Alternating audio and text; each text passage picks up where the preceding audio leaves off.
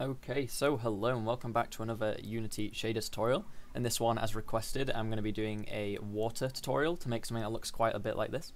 Um, with water, normally you might also want vertex displacement where it, it actually looks like it's moving up and down because this is completely flat on a plane. The only reason why it looks like it has depth is because we're using a normal, which is the method we're doing this with, and I'll show you, obviously, when we get into making the shader, how you do that. Um, one other thing I'm going to mention before we actually do this tutorial is I'm thinking of other ideas for Unity tutorials rather than doing shaders every single day because I will keep doing shaders, obviously, but I feel like if I keep doing them every single day, I'm going to run out of ideas for what I can do with shader graph. So I'll, I'll delay them. I'll do like one every two days or one every three days or something. But I want other ideas for Unity tutorials in between. So for example, I could do a series on like how to, you know, do the basic things in a RPG because I'm making an RPG in my own time or I could do uh, how to do a 2D game or side scroller or whatever, or a mobile game. Just I want people to ask and put their ideas in the comments for what kind of a game or what yeah to make a series on first. Obviously, I can do more series ser- series is uh, afterwards, but yeah, I want ideas for the first one to start off with, and then obviously I'll move on um, while still making other videos at the same time. I just want more ideas. Um, so anyway, let's get into it. Uh, so let's bring that out. And obviously this is like animating it. I'm not in play mode right now. Um, so what we want to do is we want to create a new material. And I've already named that water mat, so I'll just call this water. And I'll just call this shader um, waves or something. Just so I don't have anything named the same. We'll put that onto the water and then boom, we're back to a normal plane with the shader on it, the empty shader. So the only thing you need for this is you need a normal. Now you can. Uh, this is mine, the one I'm using. I won't put it in the description. You can easily search it. All I did to find it was go onto the internet and you can just search uh, water normal map seamless. They're usually seamless anyway. And obviously normals look like this. And what they do is it basically tells Unity how it wants light to hit the uh, image, so that even though this isn't the color of our thing, this is how light hits it. And obviously, if I went and downloaded a different one and I set that as the uh, normal in the shader, then that's the bumpiness of it. Basically, think of a normal as how the bumpiness of the material, uh, and it helps it look like it's got depth, even though it technically hasn't. So go find one that looks good for you, whether you want your waves to look like this or like this or like this. Obviously, the bumpier it is, the more like the more noticeable it, will be. This is the one I'm using here. If you want to find it, just this one. I don't know, just found a random one. Whatever's right for you. Anyway, um, make sure you've got a normal, and that's all you really need for this uh, in like preparation. Wait, where did I put? Oh, it's over here. Okay, so on the output, we actually don't have to change anything at all, which is obviously nice. Now, the first thing I'm going to do is we're going to sort out the wave moving. So, somewhere we want a uh, sample texture 2D. Well, actually, first of all, let's make our parameter. So we want texture, and we'll just call it normal. Now, we want to put in this so we can see it while we're testing. Now here's our normal, and we'll put it into here. And this won't work originally because you see here it's taking it in as a default, which as far as I know is just an albedo. We have to change this to normal so it treats it as a normal map. And now you can already see how the black bits are where it's darker and the blue, I don't know why blue is the colour, it just is. Uh, that's the colour of the, um, that's where the light is. Now if we put that straight into the um, normal. You can actually see now we've already got our material to have the bumpiness. Let me just go in here and in the shader, just go and apply when it lets me. Just go and apply the normal. And now you see our thing has the bumpiness, but there's a few problems which we're going to change. Where one is it looks a bit too stretched. It's taken this one little image, which is like is it 300 by 300 something like that? Very very small resolution. And it stretched it onto this giant plane. So it looks a bit looks a bit bad. Um, one other thing is we want it to be animated. We want to have color on it. And we also one cool effect is by layering two on top of each other moving at different speeds to look like actual how the sea would look or how water would look. Um, so the way we would do that part is by having another sample texture 2d and just feeding in the same thing here but we want to change some values. So, for example, we want them to be, let's change this to normal. We want the two things to be slightly different. Let's just unhook this because we're not going to go straight in there. We won't be able to. Um, Okay, so we need to obviously have some kind of way of offsetting them. I've used that in my last two videos, so we're going to get tiling and offset. And we need one for each. So, tiling and offset. And then we output the UVs, just like last time. And now, the, oops, sorry. And now this is how we, or where we change everything. So, tiling is up to you. Um, for this, we're going to leave one, well, we actually, what I'll do is I'll just make uh, vector ones that we can tweak the tiling. So I'll put like a layer 1 tiling uh, here, and layer 2 tiling here. And I will give those default values, that's probably a good idea. So we'll go for like 2 and 3 or something, just so the bottom one is a bit uh, more than the top one. Wait, sorry, I've already dragged them in. Alright, um, so I need to just hook this up to the tiling. And hook this up to the tiling here. There we go. So the X and Y for the tiling is going to be 2 on here, 2 and 2, and then 3 and 3 down here. So now we've got the same texture, but this one's got more of it in the smaller area, which is the uh, look we're going for. And you'll see why that looks good in a second. Now, we're going to have to change the offsets by using time, just like we do normally to move stuff around.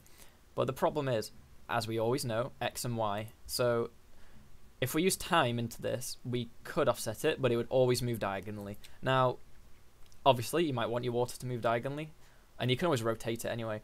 But it's a good idea, actually, in my opinion at least, to always be able to tweak values like that, just because if you can tweak it, it's better than you know not being able to.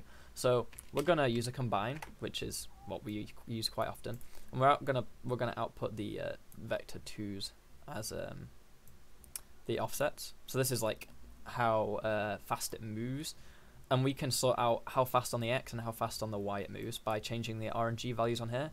So the r value goes in first because it's rg, so r will change the x and g will change the y. Hopefully this is all making sense. If you've watched my last few tutorials, it should. And then, as you might expect, we need time. And now let's say I just put time straight into here. That's going to move it, but not not how we want it to. Also, because it takes in an R and a G. I mean, yeah, we could just uh, also output time to G. Still doesn't give us the effect we want um, at all. So, because the problem is if time's continually increasing, let's just let's just do it. Let's just do it. So we're going to add some more vector ones. These are going to be to control the x and y movement of the wave. So wave speed x and uh, wave speed y. Now, what values did I use for these? I just want to make sure it's sensible. I used 0.3 by default. Um, but that, that was quite fast. I'll go for point. It was actually really fast. 0.05, I think, looked better. 0.05. And now what we're going to do with these speed x and speed y is this is going to be able to control the x and the y of the waves. So time in with the wave speed x, and then get another multiply, time in with this. So hopefully this should be obvious to you. These two multiplies are just so we can control how much a time the time affects in the x and the y. And then the way we output it is we this is the x and this is the y. And now that is sorted for the wave movement as you see down here. That's moving and that's moving at the same time at the same speed, but there's more of this in the shorter, smaller area. So when we layer it, it looks better. And also, um, if you change this to something bigger, so this is the Y, so this is up and down. If I change that to 2, as you see, now it's still moving to the left a teeny bit because of this, but it's moving up and it's moving down really fast because um, I've set that to 2. But let's leave that at 0.5. Whoops, uh, point. There we go. Now, the last bit we need uh, for this to be able to display it is we can't pass in two normals to our output node, to the master node. So one thing we can do is we can use the lerp function. And with the lerp, basically, if you remember from last video, lerping has a minimum and a maximum, basically two values, and t is how far between them we are. So what we can do is we can uh, pass in both our values as the a and b. So these are the two different maps, the, the two different ones. And we can now control how far between the two we are. Now let's let's link that up to the normal, and you'll see currently this is what it looks like. Okay, it's getting there. But it, it looks it looks okay. Looks okay, but yeah, we can change that. So what we're going to do down here is we're going to say we're going to take in a vector 1 for the way to control how much whether we're using more of this texture or more of this one. This is just a tweaking thing again. So let's just say um I don't know percentage of um I really don't know what to call this. Percentage of main tech main normal I don't know. Call it what you want. Basically, that's what it means. That's why I'm calling it that. Um, and we'll set that to. We can set that to a slider because oops, a slider because that's always going to be between zero and one. This t here only takes in between zero and one. If you go below zero, it ignores it, and if it goes above one, it ignores it. It just treats it as. So if it goes above one, it treats it as one. If it goes below zero, it treats it as zero. So let's take that. And we want to lerp that value well, actually, no, we don't need to do that if I've uh, capped it, I don't think. That should... No, that'll be fine. Let me just test if it works. Sorry, I think it does. Um, so as you see here, if we change the slider, we can change from the two different maps uh, that we've got. And one really cool effect is having both visible, but one a bit more than the other. So now you can see one of them is moving over the other one and it gives it a really cool. It gives it more of like a cloud effect in my opinion, but it does look really good for the water. Now, if you have one or the other, it's just a bit meh. I like. I'll, I'll go for 0.4. That looks cool. Okay, and then all we need now really is the color because it looks a bit bland. So, first of all, let's take in. Let's move up here. We need room for this. It's going to go into the albedo anyway. So we want a color uh, main color. We'll set that to a nice blue. Obviously we can tweak these in the editor anyway, in the inspector. Now let's say we did that to the albedo. See, this is all about tweaking for you now. That's that's boring, but it works. Now we have a plain color, but having a plain flat color for the water really doesn't look nice. Even if we tweaked it to be more suitable, it really just doesn't doesn't have the same effect. So we're gonna have a secondary color as well. So add a new color secondary color. And this is going to be a darker blue or greeny color because this is like kind of underwater. The color you see, when you look at water, you see like underwater color. You, you would know, you know what I mean. Uh, let's go a bit darker. It's better. So now we have this, but, but how the hell do we put these two in at once? Well, we can't. So we can use a lerp again. But this also isn't going to solve our problem because all this is going to do is go between the two values. It's not going to give us an actual mix. Like, it's either going to give us one, the other, or the color in between. But we want to have, we want to be able to see a kind of transition color. So like, you'll see now uh, if we. Well, I can't actually show you it now. I'd have a, I'd have a lerp value to alter. Well, let's say, does it simply work like this? If I set this to one one one one, as you see now, it's gone all the way to this color, and then if it was uh, zero zero zero zero, it would be the other color. Now, what we want to do is we want to use some kind of effect to smoothly transition between two, so we need a gradient. And one good way of getting a gradient is the Fresnel effect. So, let's get the Fresnel effect here. And we're getting there, we're getting there. Uh, we'll just leave the Fresnel, well actually no, we'll um, add another vector 1 for this. For the venal, uh, yeah, sorry, Fresnel power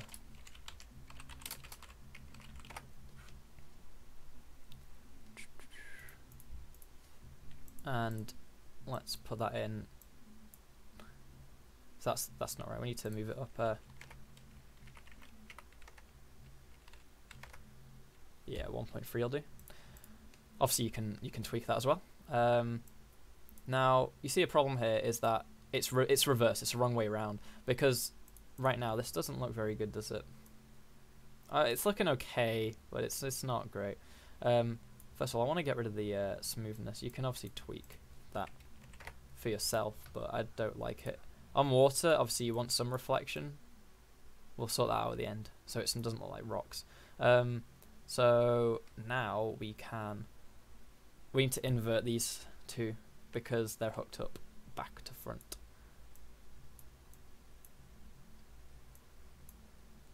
There we go. Now we have more yeah, that's better. Uh, we might also want to like you see the problem with this is the green is closest to the camera and the blue's furthest away. And if I move my camera around here, it gives the same effect. The green is always the closest bit to me. Now, really, that's that's not what you want. You want it to be. You don't want you don't want it to rely on your camera. You want it to rely on the world. So we'll just get a world output here, and that can go straight into here. Let me just see if this works.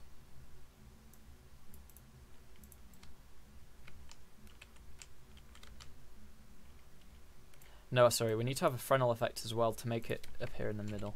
Fresnel effect.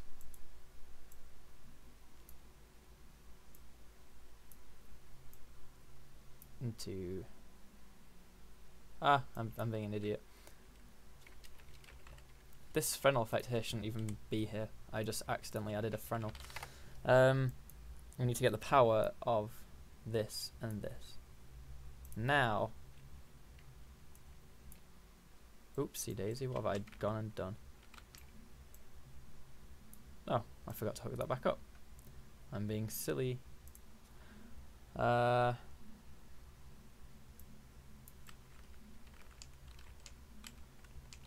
that's still not giving the exact uh, exact effect I want. But it looks good from the camera. I don't know. You can tweak the values you want. I, am not, I'm not going to sit here just tweaking values for the whole time. You know, I might put that back to 0.5 as well, like, because we want shininess on the water. Yeah, it might be a bit too much there.